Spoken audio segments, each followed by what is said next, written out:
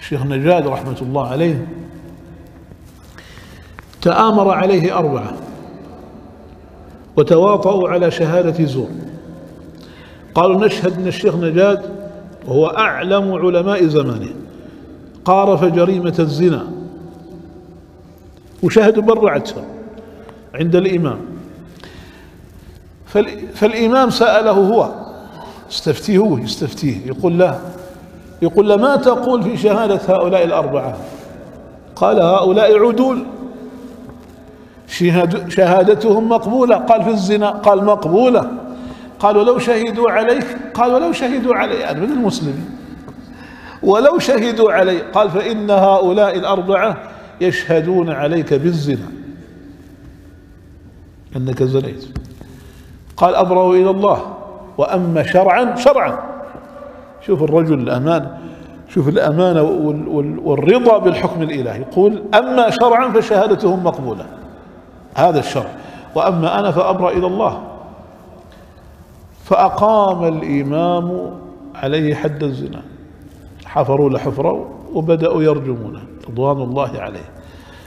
فارتعش قلب أحد الأربعة أحد الشهود الأربعة فارتجف قلبه كذا كأنه دكر وراح يعني إلى الإمام رضوان الله عليه قال يا إمام أبرأ إلى الله أنا ما شهدت ولا رأيت ولا شيء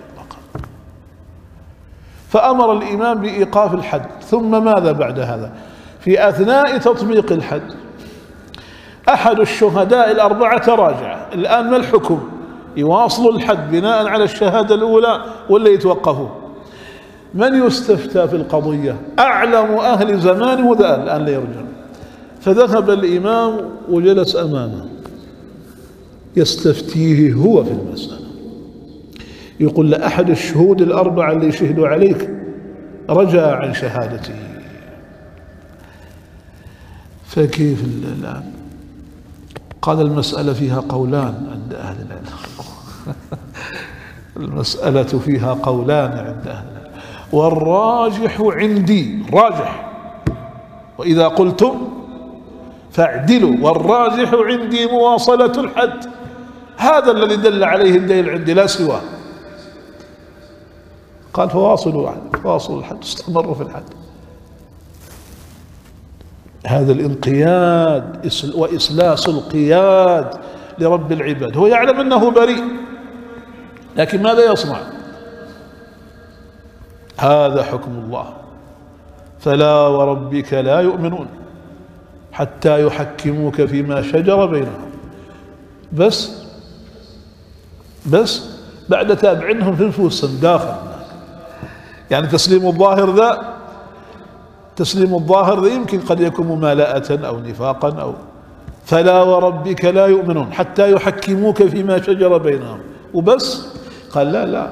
ثم لا يجدوا في في أنفسهم حرجا حرجا نكرة أي أي حرج ما قال ثم لا يجدوا في أنفسهم الحرج مما قضيت. لا يجد في أنفسهم حرجا أي حرج كان ولو كان قليلا مما قضيت. بس لا قال ويسلموا بس تسليما. فأحكام الله عز وجل وهذا هذا هو مقتضى الإيمان. الذي يبعث الطمأنينة لأنك تأوي إلى عليم حكيم إلى عليم حكيم.